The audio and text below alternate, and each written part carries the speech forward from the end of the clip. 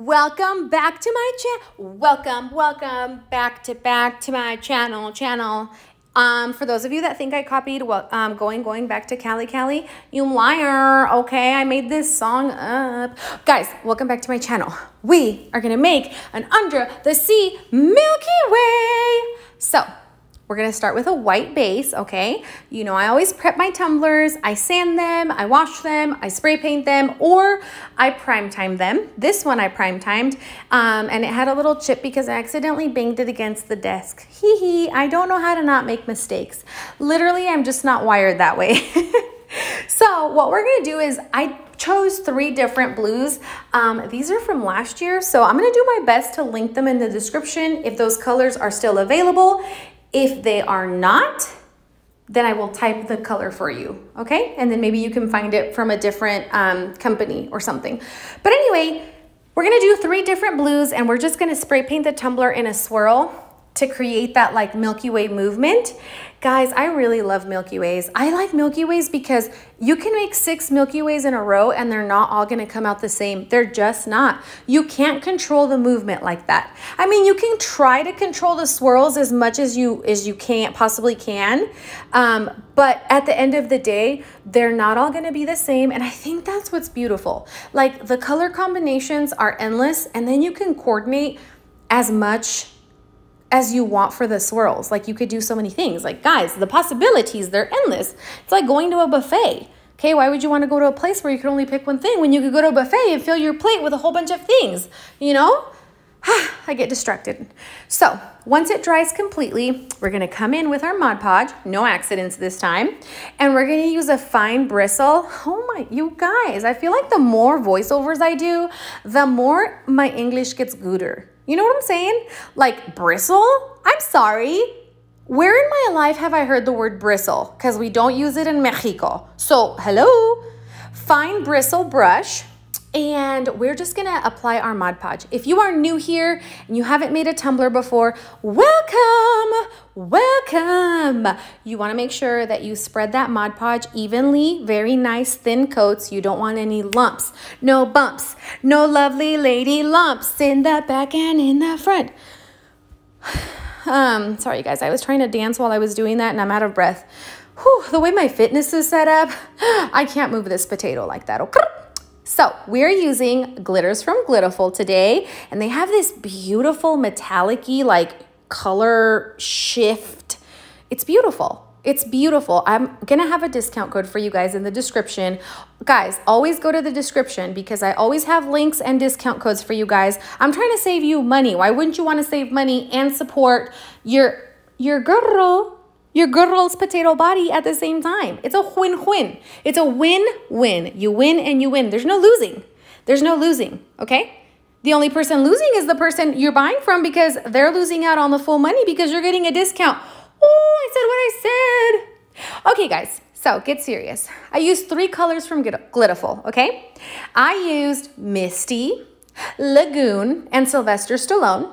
I know, I, I laughed when I saw the name too, but I like it. Like having that unique name is what made me not forget it. And I kind of just ombre them like in color order, like from darkest to light, from light, okay, from lightest to darkest.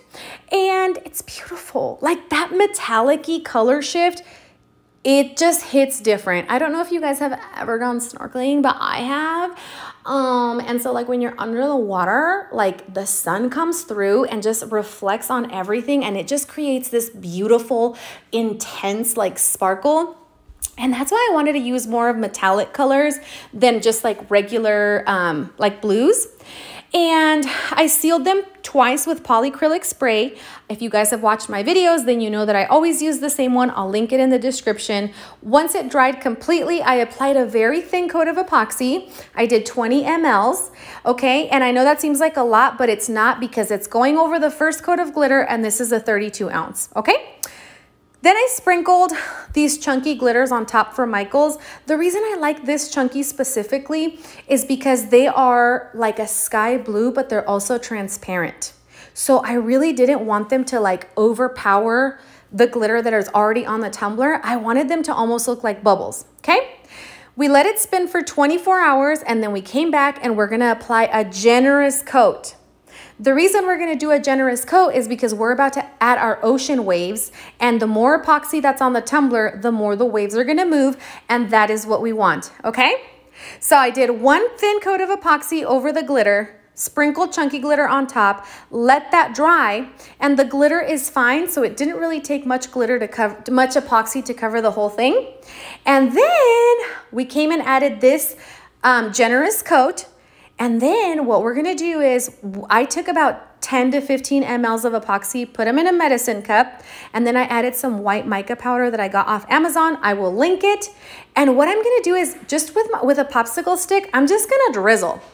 That's all I'm gonna do. I am going to drizzle, okay? And then I'm gonna hit it with my torch. Normally, Charlie, my subscribers can hear your footsteps. Stay still, I'm almost done. Sorry about that, guys. That's my hot dog wiener dog. Um, yeah, he came down here disrespecting my voiceover. Anyway, guys, so normally I try to limit the amount of heat that I put on epoxy when I do Milky Ways because I like to control the swirls. But in this case, we don't want to control them. We want to let them loosey-goosey.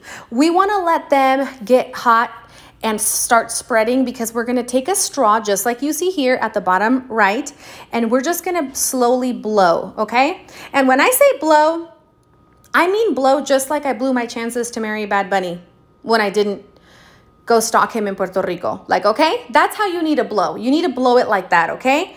Blow as hard as I blew my chances to marry Bad Bunny himself. So what you're gonna do is don't chase the waves. Okay? Don't go chasing all the waves. They'll come back around and you can blow them when they come back. Okay, sorry, I blacked out. Don't chase the swirls, you guys. Let the cup spin normally, let it come back around, and just use the straw to push out the waves. The reason we're doing it with a straw, I got this technique from my really good friend, Jennifer Polizano. She is the creator behind Jen's Crafted Gems. She was doing this amazing Joker and Harley Quinn cup, and she was creating this amazing movement in the epoxy with a straw. And so I decided to try it and it worked out perfect for these waves because it looks like they were naturally going out. Does that make sense? Like, I don't know if you understand what I'm saying. But I really liked the way that they looked with a straw. So I think that this will forever be the technique that I wanna use. Now guys, please be careful. Try not to accidentally inhale through the straw or something like that because I don't wanna go to jail. I don't wanna go to jail, you guys. After it spins for 24 hours, this is what it should look like and it should be fairly smooth because the glitter is fine like me. Eh. so you should be able to go ahead and apply your decals right on top of that. Now I got two different sets off of Etsy. I got all of the seaweed and all the plants and greenery and all of that, you know, coral reef stuff that goes at the bottom and then I bought the sea turtles separately.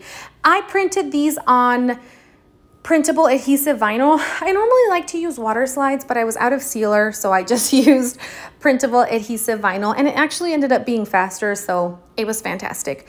And basically what I'm doing here is I'm just switching around everything and kind of twisting the cup and trying to figure out where I want things to go. Like I said, it's really important to me that when you look at the cup and as you turn it to admire its beauty, that you're like, wow, it looks like they're swimming. Wow, it looks like you're actually underwater. And so I wanted to do little turtles in different sizes, okay? So you would cut these images out how you would normally cut out any of your images. I personally upload them into Photoshop and then I cut them by hand because my Cricut hates me. And that's okay, guys. I'm not mad about it. One of these days, I'm gonna switch to Silhouette.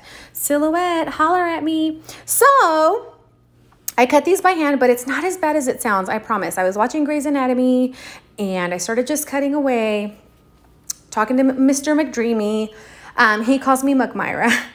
If you say that's a lie, I'll block you. But anyway, guys, so basically just kind of follow your, your gut, your instinct. Let your creative eye take over your body. And just kind of place things where you think they look good. There's no rhyme or reason. There's no right or wrong way. Okay, it's all about the movement of the cup as you're turning it, where you want to put things so that you can fill that negative space and just kind of do as much or as little as you want. I had a lot more like coral reef and seaweed and all that stuff that I was gonna put at the bottom. But as I was applying everything and turning the cup, I was like, sis, there is such thing as too much of a good thing. And I didn't want to, I didn't want to like do too much and like overkill and all that stuff. So I decided to kind of just do a little bit. I did put all the turtles though, because the turtles were very important to me. I love sea turtles, guys. I really do. I really, I love sea turtles. I wish we could save them all. Um, my dream is to go snorkeling here and see sea turtles, but I don't know if that's gonna happen. And realistically, I'm a really big chicken, and if I went snorkeling and saw something, I'd probably freak out, inhale all the water, and you'd never hear from me again. But anyway, you guys, this is literally it. You don't have to seal the vinyl once it's on the tumbler. You just have to make sure you push out any air bubbles. And then we came back and added 30 mLs of epoxy okay? Now, I know what you're thinking. Are you sure you added enough decals? It looks pretty separate, separated out like Homer Simpson's hair. But guys, yes, I'm sure. I did not want a tumbler that was completely covered in decals. I wanted it to look like the ocean, like the bottom of the ocean. So I'm super duper happy with how this turned out. But if you um, if you recreate this, then you can you can add as many as you want. But we're gonna go ahead and go in with 30 mLs of epoxy. We're gonna do a very generous coat so that this is our last coat. And like I said, with these three coats that we did is more than enough because that glitter we used is fine. So it's not gonna take too much epoxy to cover up, okay? So th this last uh, set of 30 mLs did it because it was a very generous coat. I just went around and a trick that works for me is starting at the bottom of the tumbler and then gliding my finger up. That makes sure I didn't miss any spots and then I pippity pop the bottles like I popped this booty on a Saturday night. Just kidding, I'm asleep by nine. This is our finished product. I hope that you love it so much. I had so much fun. See you Saturday.